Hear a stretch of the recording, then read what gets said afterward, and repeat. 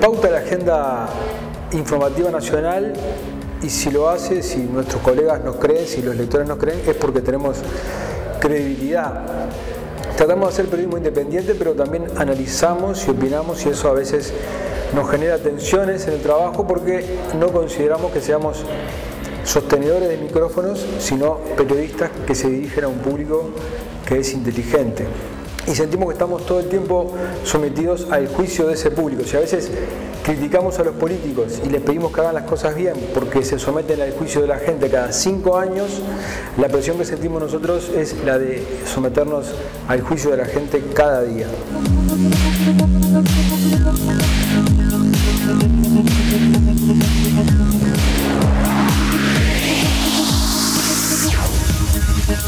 Thank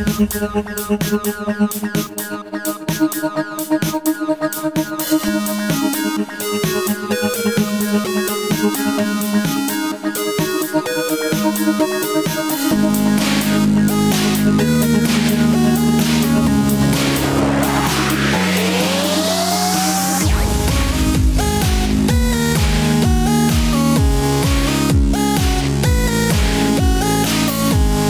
El Observador tiene una historia larga, por suerte, de innovación en el campo digital desde los años 90, en ese momento con Observa y ahora más recientemente con el observador.com.ui.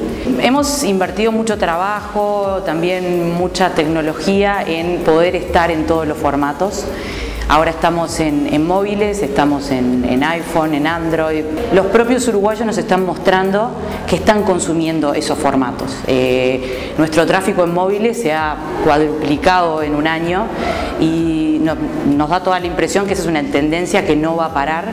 Así que bueno, estamos todos los días trabajando para que nuestras noticias se vean mejor. Y eso que parece tan fácil cuando abrimos el, abrimos el celular, tiene atrás todo, toda una tecnología, pero sobre todo una forma de pensar las noticias que, que va evolucionando al mismo tiempo que nuestra propia audiencia.